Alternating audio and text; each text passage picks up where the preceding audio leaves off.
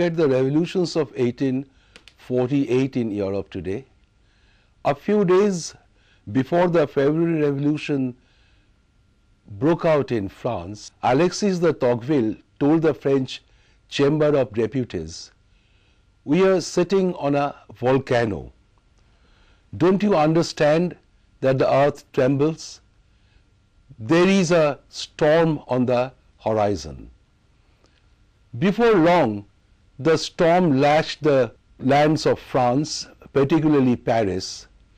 In fact, on 24th February 1848, massive demonstration following days and indeed months of unrest in uh, France, in Paris in particular, obliged Louis Philippe to abdicate from his throne after a reign of 18 years and the Second Republic was proclaimed in France. A provisional government was set up and Lamartine was elected the president of this uh, new French Republic.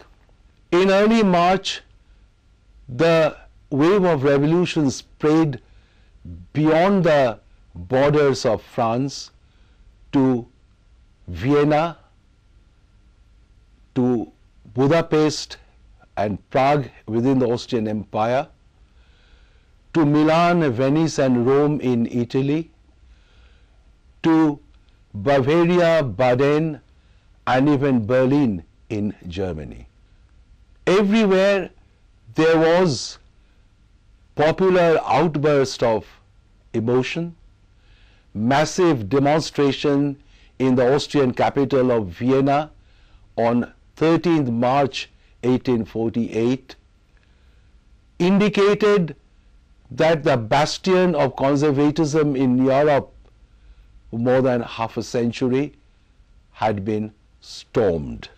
Eric Hobsbawm, the noted English historian, has indeed seen 1848 as a possible date of world revolution. He noticed its impact in far off Brazil or Colombia in South America.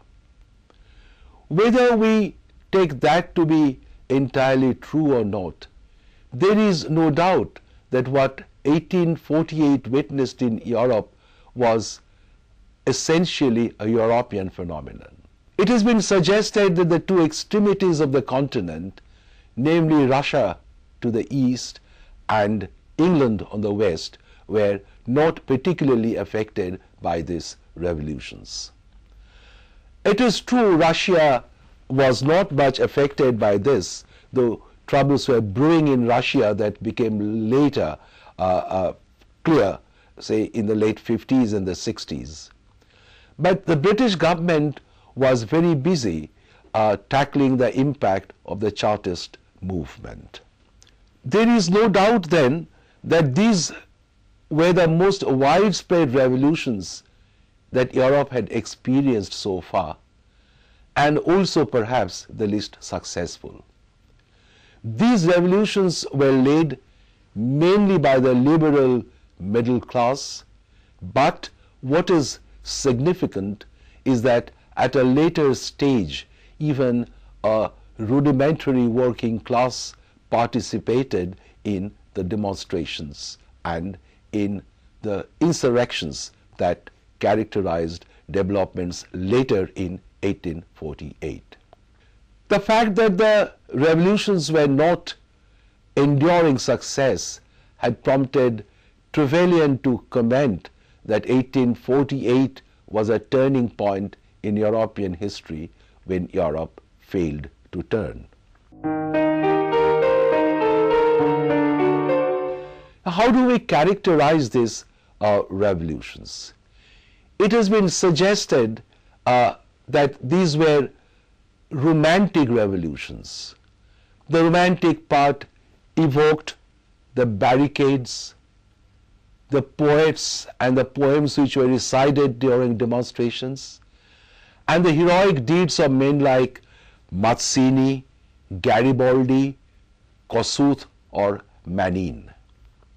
On the other hand, a second characteristic uh, which is, some historians have uh, found in these revolutions, is that it was the work of a few dilettantes. An anecdote very clearly indicates this. A French revolutionary looking at the crowd on the street from his window shouted that I am their leader and I must follow them. Now, this caricature of some of the leadership of this revolution endows it with it with a, a little uh, mockery, but this may not be the entire truth about the revolution, and of course it is not. Thirdly, at another level, the German Revolution had been characterized as a revolution of the intellectuals. Well, the suggestion is that there was a hair-splitting uh, debate about certain uh, not very substantial issues, while these intellectual leaders lacked the basic, you know, kind of a sound political sense which could deal with the uh, issues of practical politics. And this related particularly to the unification of uh, Germany. More recently, however, there had been a movement away among the historians to look at not the urban areas but the rural areas as well and the participation of even the peasant masses. The demonstrations, particularly in, uh, during the latter period of the revolutions towards the end of uh, 1848, did involve some uh, brutal repression and suppression. And uh, we have some figures about the kind of people who died. And between 1849 and 1851, there had been whole number of uh, local, rather obscure leaders, artisans, craftsmen, local uh, activists, and they had been brought into focus by historians uh, lately. The revolutions of 1848 came in different countries at almost the same time. It is possible to detect uh, influence of identical ideologies in, in these uh, uh, ideologies behind most of these revolutions, yet these revolutions were different, arising in each country out of a peculiarly uh, unique context. The issues might superficially appear to be the same, but the contexts were different. What one probably noticed was a large scale coincidence in Europe. The revolutions did have certain similarities, though they did, took place in, in different countries and different societies. Most of these revolutions were led by the new middle class. Among them were, merchants, men of finance, intellectuals, professionals, and, and of course the middle class politicians and the students. This is why Namier had called it the revolution of intellectuals as well, generally speaking, not just with reference to Germany. Secondly, these were essentially urban phenomenon and uh, ultimately it was uh, at one time it used to be uh, believed that the countryside had not been affected, though recent historians have somewhat modified this view. A third similarity was the economic and financial crisis that was experienced by most European countries in 1846-47. Uh, the, there was a run of the banks in many countries and this was climaxed by a crop failure uh, in 1846. The resultant uh, socio-economic distress uh, was transformed into political dissent and walked along with the other long-standing demands that people had been uh, developing as their agenda for reform. There had been a very serious problem of this in uh, the kind of industries that there had been in Belgium, in Silesia, in Saxony, in the Rhineland, and therefore economic and social distresses did uh, to an extent cause the outburst of emotions in 1848 in most European countries. And a fourth uh, or, or another similarity that one can notice is the ideology. There had been uh, the impact of nationalism in most areas and liberalism. In some places, there had been radicalism and also democratic aspirations were uh, seen. So there was some kind of an ideological similarity as well. But these apparent similarities did not mask the fact that they were essentially different movements coming out of different contexts. There was no central all India or all, all European leadership. The leaders were local and often issues were local. And indeed, ideologies also did not uh, have the same kind of impact everywhere. For example, when in Hungary, the nationalists led by Kossuth uh, demanded the implementation of the Magyar language. They demanded uh, autonomy for the Magyars in Hungary. They denied such autonomy and such uh, linguistic uh, freedom to other ethnic minorities like the Croats and Serbs. And this proved to be a weakness of the movement. So there were dissimilarities as well. And therefore, it is better to call it, call them the revolutions of 1848 than the revolution of 1848. We may begin to look at the revolutions first in the context of the Austrian Empire. The Austrian Empire led by Metternich was the center of conservatism uh, between 1815 and 48.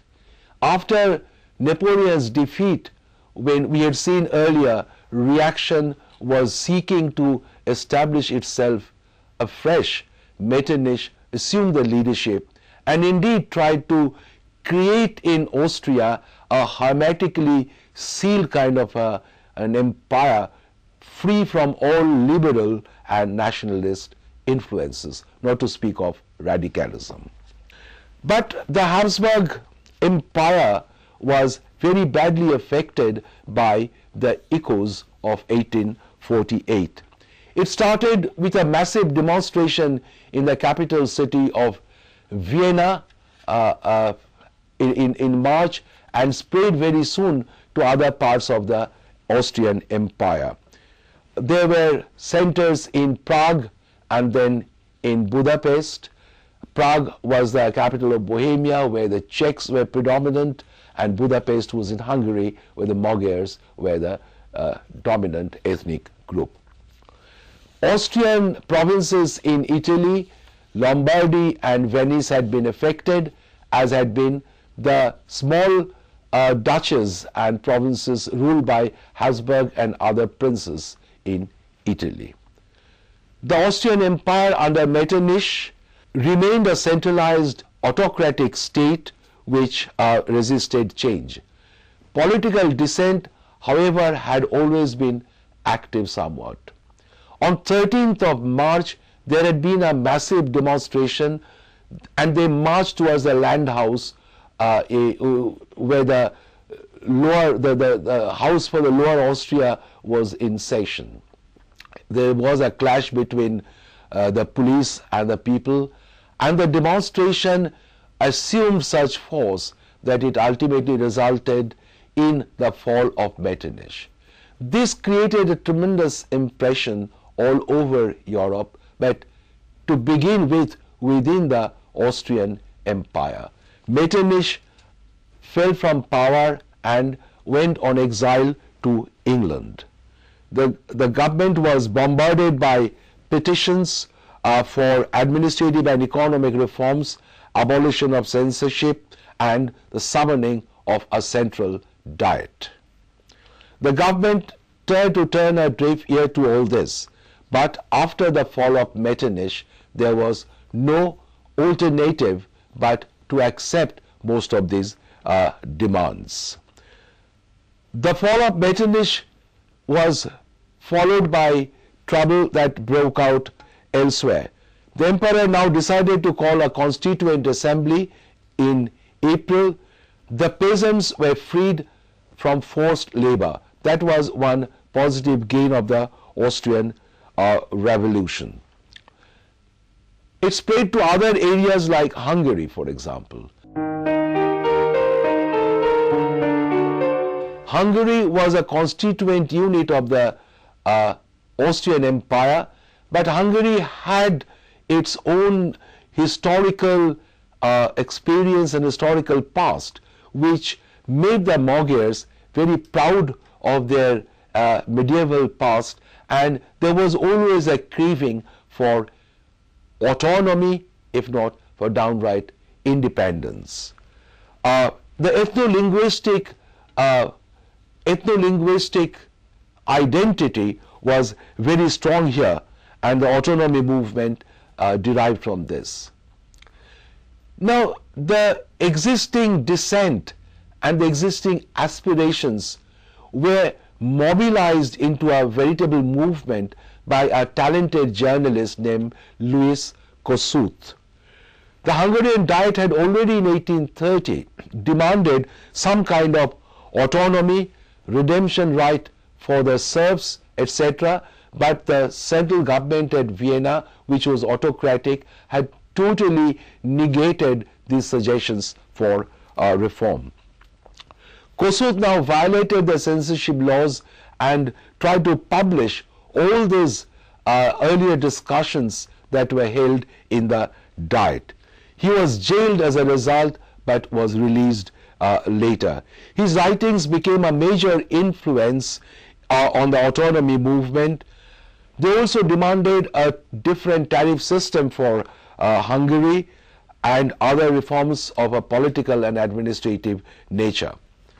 Kossuth was a radical, but there was also a moderate wing in the movement.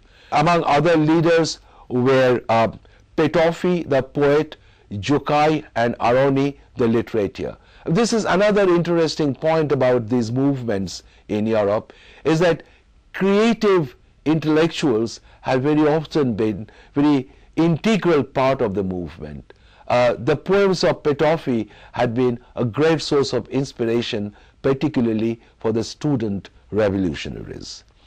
The February Revolution in France and then the March one in Vienna acted as a catalyst for further uh, development of the Hungarian movement. On 3rd March, Kossuth uh, demanded in Budapest the introduction of a constitutional government in Hungary. He, however, felt that this hope would hardly be realized so long as there would be an aristocratic government or an autocratic government in Vienna. The fall of Metternich now created a tremendous impression and a huge procession was uh, organized where the students recited the poem of Petőfi to make their demands more visibly felt. This virtually translated its, itself into a revolution and the Hungarian Diet promulgated a constitution. This constitution virtually made Hungary an independent unit within the Austrian Empire. Only uh, there would be a link of the uh, emperor. Civic and religious rights were firmly established. Freedom of opinion was guaranteed. The feudal nobility were deprived of their special privileges and by 31st March Vienna had to recognize the new constitution. A new government took a charge under Batthyány, but Batthyány was a moderate and the government comprised aristocrats like Batthyány and Széchenyi, moderates like Eötvös and radicals or Democrats like Lajos Kossuth. The contradiction within the Hungarian Revolution was now very apparent. Batthyány sent troops to Italy to help Vienna. Obviously, this estranged the radicals, and at the same time, other ethnic minorities like the Croats, Serbs, the Romanians to an extent, they expected that the Hungarian Revolution would also lead to their aspirations being realized. But the Magyars said a firm no to the demand of the other ethnic minorities. And, and this, this was a weakness from which the leadership suffered.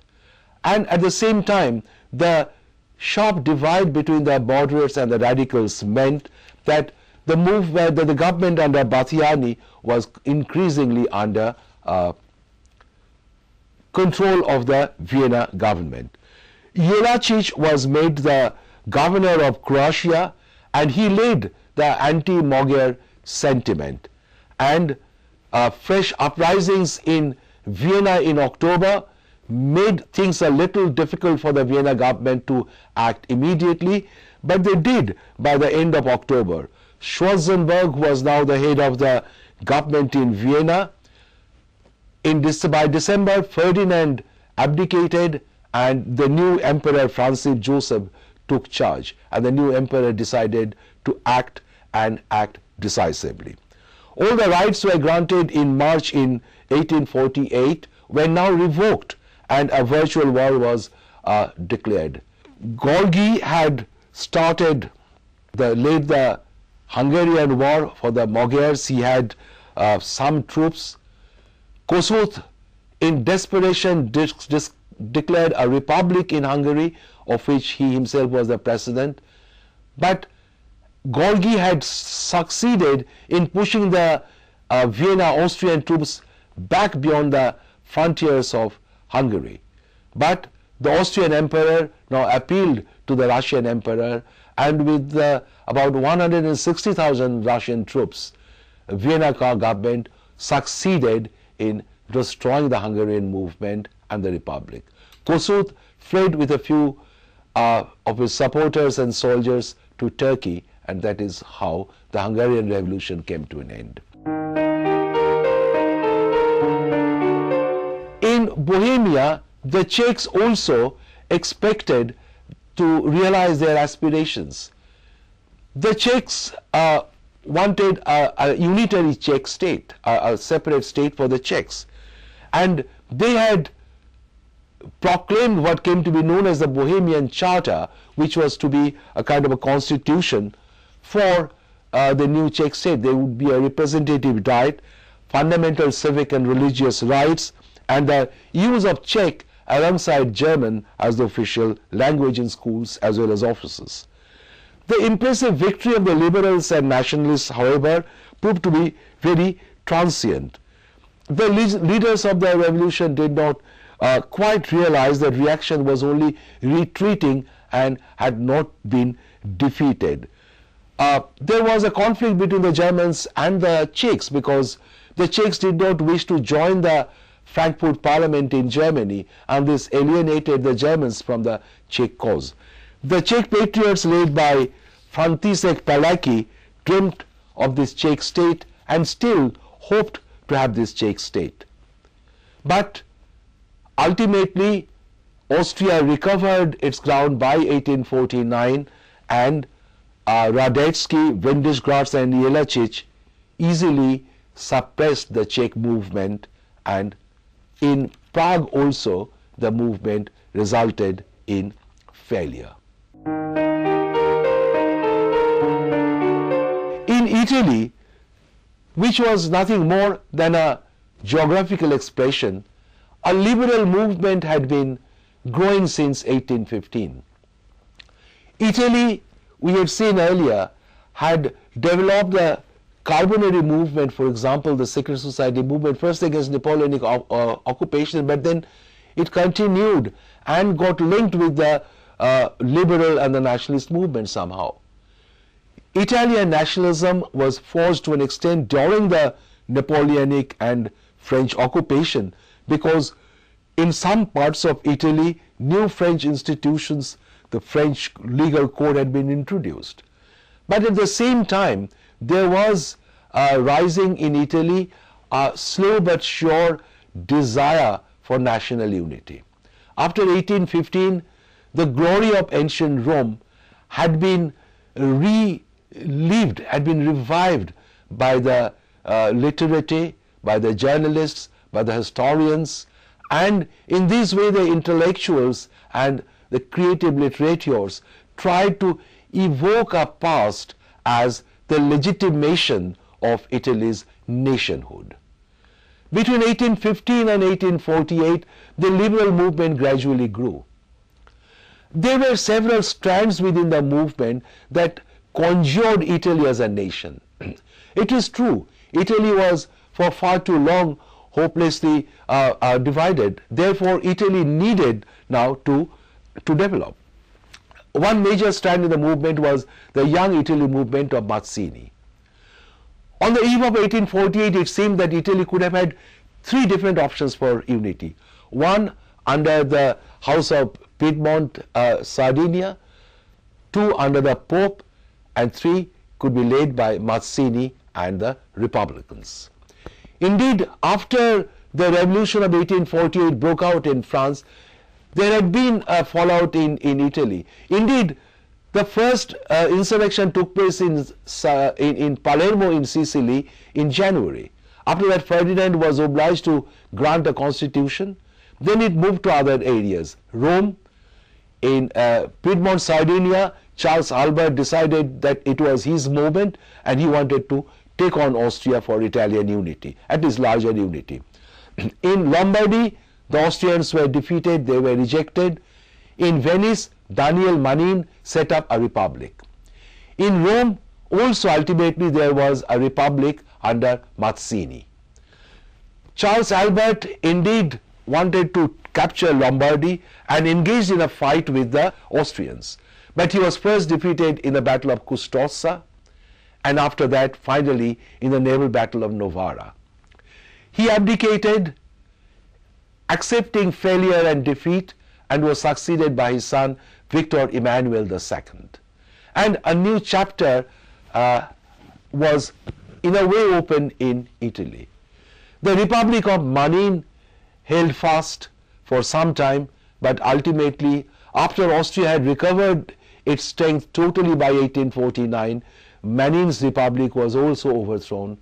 Lombardy, Venetia, and the settled Italian duchies had all been recovered by Austria. Only the Mazzinian Republic in Rome held out. Garibaldi had, uh, with exemplary courage and determination, held out against the seas of Rome. Ironically, the new French President Louis Napoleon sent army to Italy to suppress the Republic of Rome because he wanted to placate the strong Catholic opinion in France. We shall, in the next uh, lecture, look at the experience of Germany in 1848 and then look at its significance and failure and shall, inter alia, examine the question whether 1848 was, as Trevelyan had long time back said, a turning point when Europe failed to turn.